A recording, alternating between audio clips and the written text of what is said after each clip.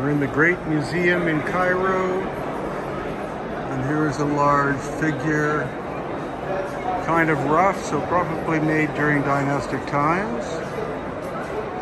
This may be a depiction of Ramses II. Curious thing are the two objects that are being held in the hands. No one seems to know what they represent.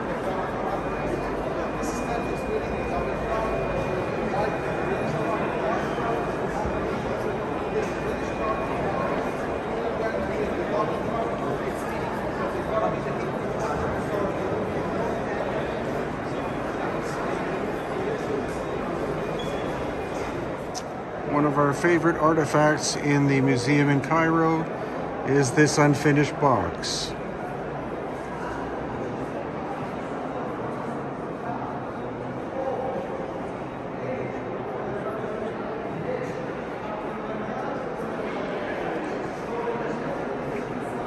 You can see that the lid was being cut from the bottom, and that was the standard procedure with these pre-dynastic megalithic boxes.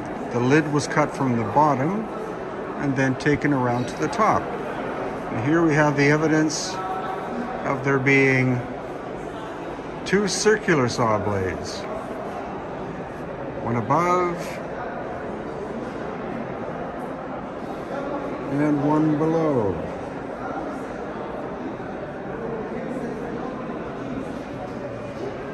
In the process of cutting, the upper blade, which was tapered, moved to the right, going off course, causing the lid to snap off. We have this incredibly beautiful sarcophagus, likely made out of basalt stone.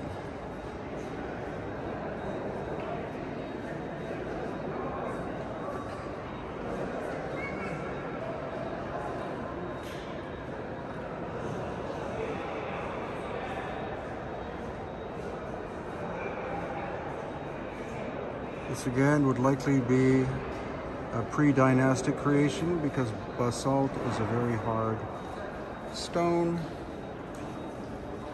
Then the dynastic people may have carved the hieroglyphs into it after inheriting this incredibly beautiful object.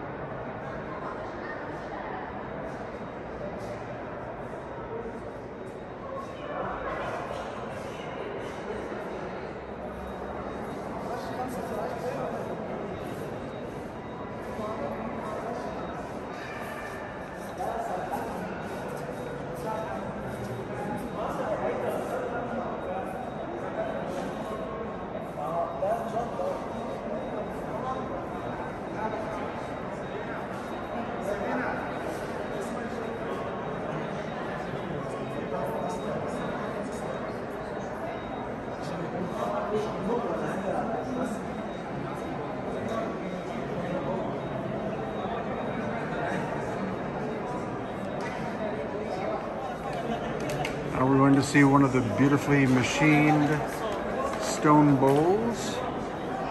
Fortunate for us, this is not behind a glass case. So we get to go up and inspect it.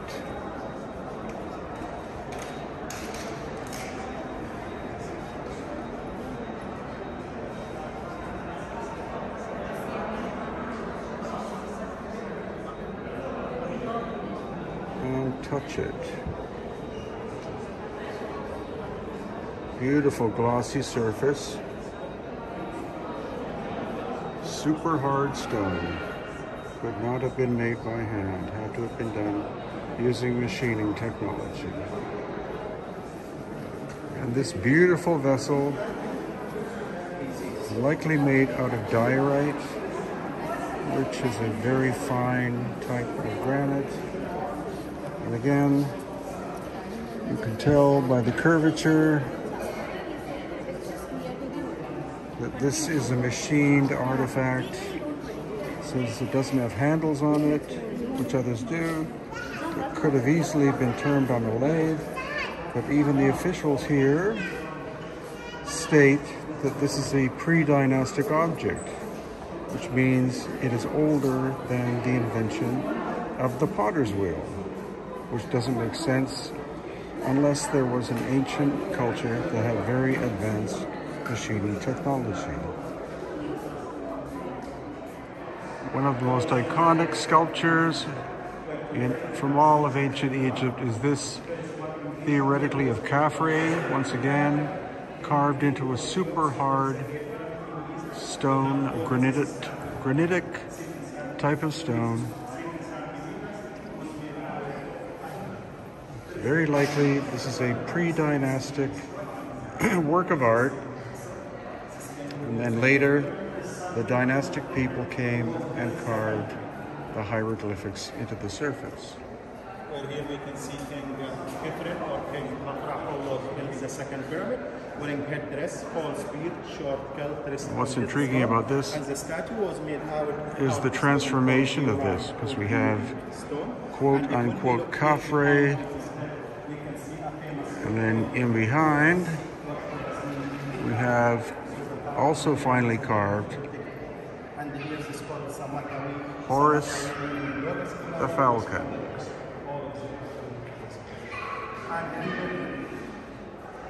And finally, our dear friend Akhenaten of the 18th dynasty,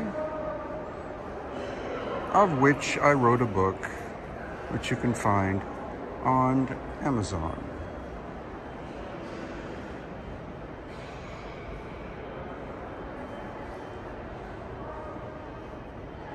So some say he's depicted as being half woman and half man.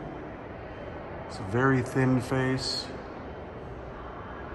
Ruled for approximately 20 something years before he was forced out by the Amun priesthood. And other sculptures of Akhenaten.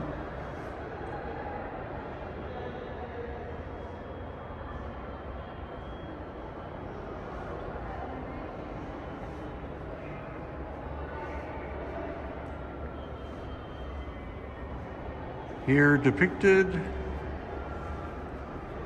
with an elongated head, like descriptions of Osiris.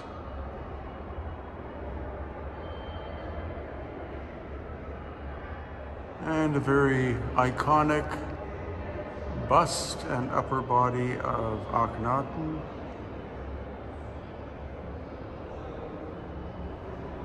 And fortunately, still in the museum are the depictions of the daughters with elongated heads. They haven't been moved to the new Grand Egyptian Museum at Giza.